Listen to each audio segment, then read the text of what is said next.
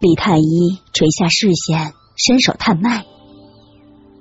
一旁的内侍忧心忡忡的说：“殿下昨日那么凶险，今日又停了药，还用针封了一次经脉，可受得了？”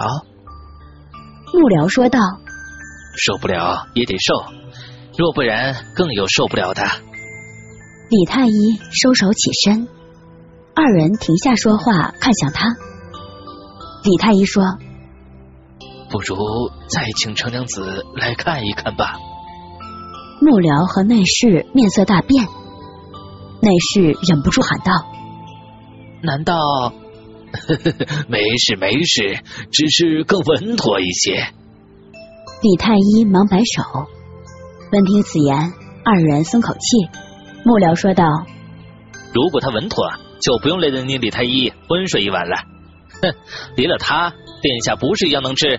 你休妄自菲薄了。”内侍咳了一声。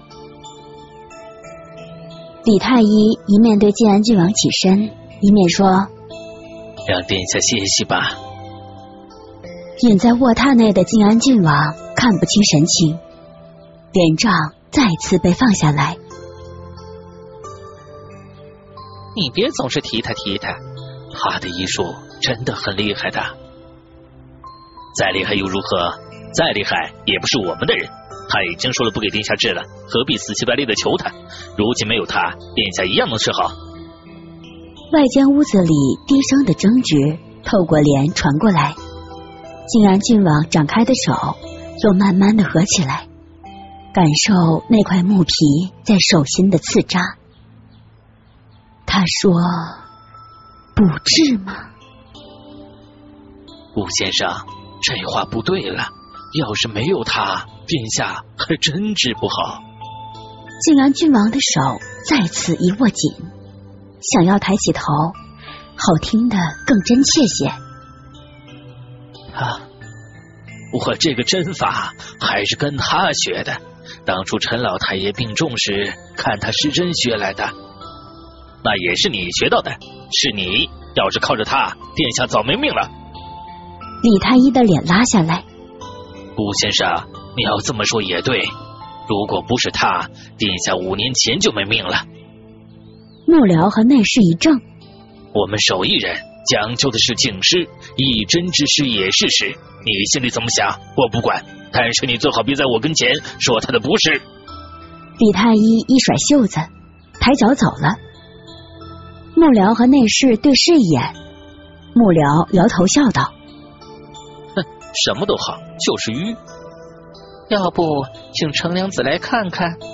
内侍迟疑着，看向内室的门。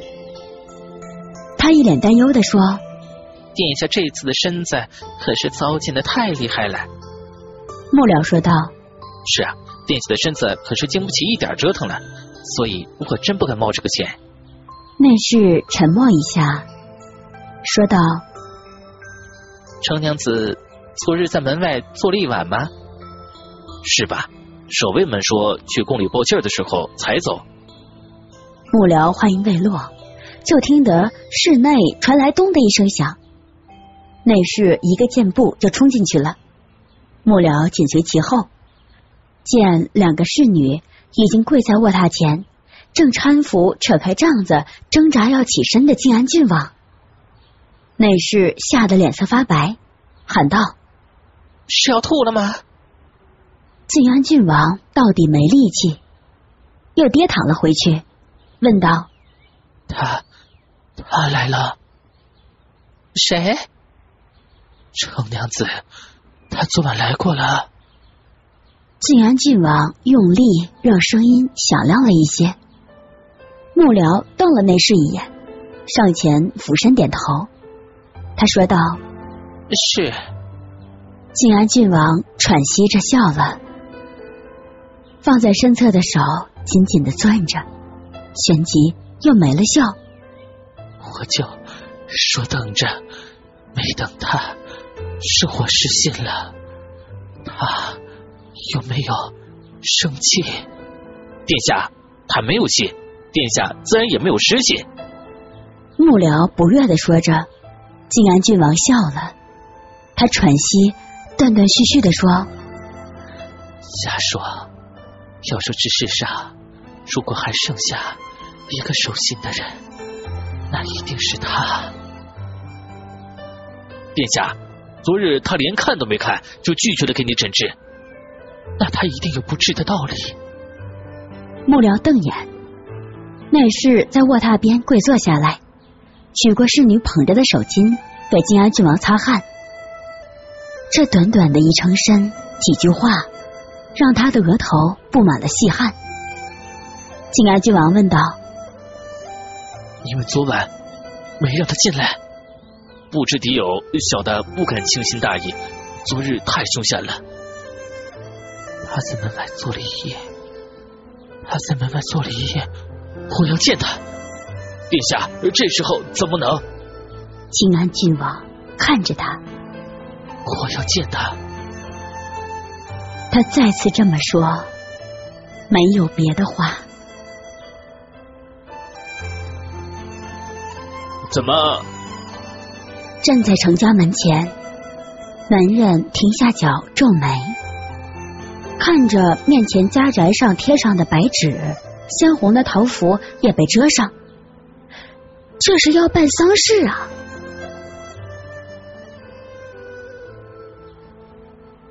你要见我？站在门廊下，看着从屋中走出的女子，男人忙施礼，低声说。小的是见郡王的人，一面忍不住抬头。这个女子，她不敢盯着看，目光扫过一旁势力的婢女，眼睛红肿的吓人，而眼中还含着泪。果然是要办丧事。庆王府封闭严阵以待了一夜，又所有人都紧盯着朝中的几个重臣猛将。还有禁军兵马的动作，倒不知道其他的消息了。程娇娘问道：“什么事？”男人忙收起胡思乱想，再次施礼说道：“殿下想见娘子一面。”抱歉，家有丧送，父母亲长不在，城市着孝发送，不便见客。男人愕然抬头，江州程家又出事儿了。其实昨日消息就传开了，到了今日，就连站在桥头卖茶汤的伙计都能讲得绘声绘色。小伙计翘起兰花指，手拿大铁勺，摇头晃脑的说。那朱小娘子拔出匕首，说上一句：“你若负亲，奴家挖出你的心。”听众们立刻有人打断：“哎哎，不对啊！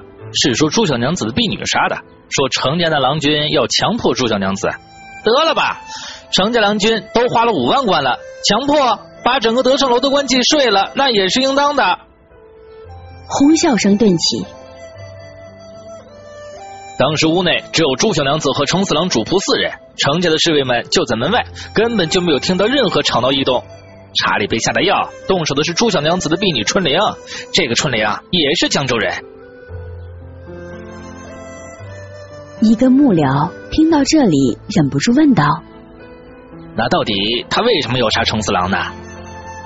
金随摇了摇头：“没人知道。”朱九娘子昨晚在牢里用衣袖自缢身亡了，春玲被程娘子当场拧断了脖子死了。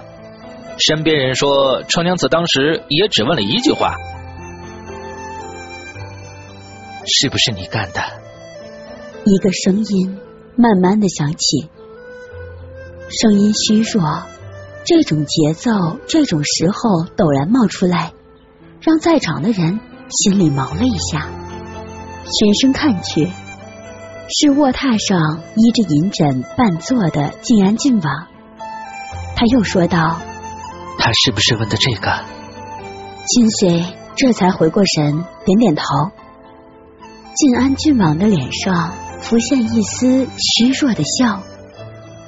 呃，是，呃，殿下猜对了，他就问了这一句，那婢女也就答了一句是，然后就嗯。千随说着，伸手做个拧断的动作。在场的人多数没有杀过人，也是见过杀人的，但听到这里的时候，神情还是微微的不自然一下。按理说，一个女子发了狂，拿刀子乱捅人也是正常的，但用手把人的头拧断，这比见血还渗人呢。一个人又忙说道：“我就说昨晚看的城墙子古怪呢。”大家都看向他，有人问他：“你有说吗？”“算说了吧。”那人接着说：“他身上染了好多血呢。”“是从德胜楼直接过来的吗？”靖安郡王慢慢的说：“这件事是不是因为我？”顾先生皱眉说道：“殿下是说程四郎被杀是为了胁迫程娘子不来给你救治？要不然怎么会这么巧？世上巧合的事多了。那程四郎在登上楼张狂，程家娘子为了他一掷千金，都是因为这朱小娘子的算计。吃了这么大的亏，谁知道他怎么作践羞辱那朱小娘子？如果真是挟持他，怎么会这样轻松？程家当时四个侍卫在场。”要不是周家和那程娘子过去，还不知道什么时候能发现自己的主人死了呢。哼，我看不是有人挟持程四郎，不是他当时走不了，而是他不想走。顾先生说着，又喊一个侍卫的名字。门外有侍卫进来，顾先生问道：“你把当日怎么见的程娘子，他又怎么说的？再说一遍。”呃，程娘子和秦家十三郎在赏花。他说：“殿下的症治不了，也用不着来看殿下，就是治不了，让咱们另请高明。我们要强拉他来，那周家的六郎还打我们。殿下，你听到没？他可是跟秦家的十三郎在一起。”顾先生看向晋安郡王，他说着，伸手指向另一边，一边摆着一个小箱子，满满的一叠叠奏章。他接着说：“这些是太后送来的，要殿下你烧了的弹劾你的奏章。这些人、这些奏章都是秦家牵头带人搞出来的。殿下，程娘子看来是选择了秦家了。”他看着靖安郡王，室内的气氛似乎凝滞压抑起来。看着卧榻上半坐的靖安郡王，内侍不由轻咳一声。顾先生说太多了，殿下才醒，今日就到这里吧。他轻声细语的说着，一面上前扶住靖安郡王。靖安郡王也似是没了力气，由他扶着躺下了。顾先生想到什么，又说：“还有，今日咱们已经去请他了，结果呢，还是不见，说什么家有丧送，父母亲长不在。”他不便见客。说着话，又看其他人。看到没？青天白日请他见他都不见。昨晚夜黑风高，倒是闹着要进来。嘿嘿，亏得没放他进来。谁知道他进来，是不是也要拧断殿下的头？顾先生，那是拔高声音喊了声，冲他瞪眼。一直沉默不语的靖安郡王开口说话。他说了，家有丧丧。父母亲长不在，他不便见客，那就是不便见。顾先生看着他，点点头，笑了笑。他躬身施礼，说道：“嗯嗯，是殿下说是就是。殿下快歇息吧，殿下现在要紧的是养好身子。”屋子里的人都施礼退了出去，内侍安排好侍女伺候。自己也忙跟了出去。你瞎叨叨什么呢？还知道殿下要紧的是养好身子？你看你说的都是什么？我说的都是大实话。实话也挑时候说呀。殿下本来就没几个贴心的人，如今低低的说话声隔着帐帘渐渐的听不到了。如今睡吧，要紧的是养好身子，不能死。一定要生，在那也要活着。晋南郡王慢慢的抬起手，张开手，看着其内的那块木皮，又慢慢的合上，垂下手。侧耳听着帐内，两个侍女对视一眼，点点头，蹑手蹑脚的退开几步，在一旁坐下来，也闭目歇息。午后的室内安静如夜。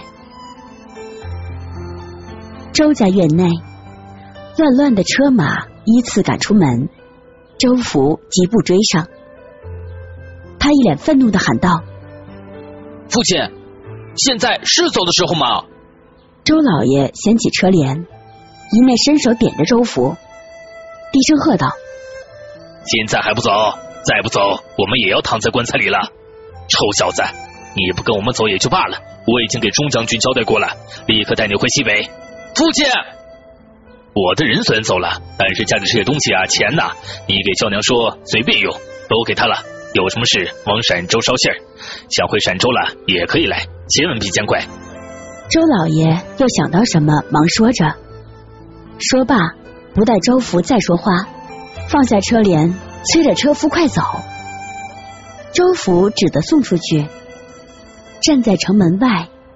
看着一队车马在天边化为黑点儿，才闷闷的转身，吐口气，狠狠的一甩鞭子，马儿疾驰。看，周家六郎又来了。秦家门前原本说笑的门房，立刻严阵以待，门内的侍卫也涌出来，